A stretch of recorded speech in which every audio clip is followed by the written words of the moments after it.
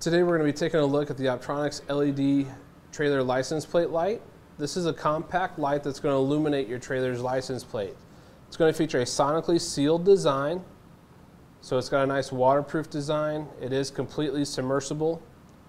It's an LED system. It's going to contain two diodes or two LEDs. Now LEDs are going to make great replacements for incandescent lights. They last longer, they burn brighter, and they're much more efficient. You don't have to worry about replacing bulbs, and you don't have to worry about brittle filaments. Here on top, on this upper half, we're going to have a chrome plated brass housing that's going to shield the top half of the light.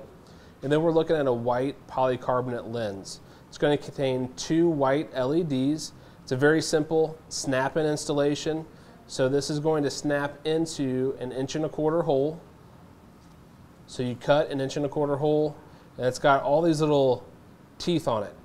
So when you snap that in, those are kind of like spring loaded. So once it's snapped in, that's going to be a tight fit and then those are really going to hold it securely inside the inch and a quarter hole. We're looking at a two wire design, so your black wire is going to be for power, white wire is going to be for ground. This is Department of Transportation compliant. The overall diameter from outer edge to outer edge is about an inch and a half.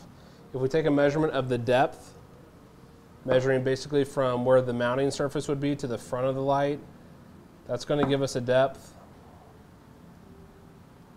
of about 11 sixteenths of an inch.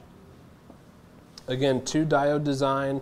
The power draw is 0.0306 amps at 12.8 volts, and Optronics is going to put a lifetime warranty on the LEDs. Now I do want to show you how bright this is and what it looks like, especially in a low light setting.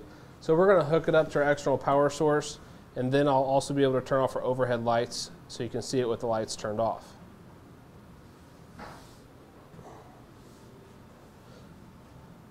So you can see that it sends out a really nice consistent signal.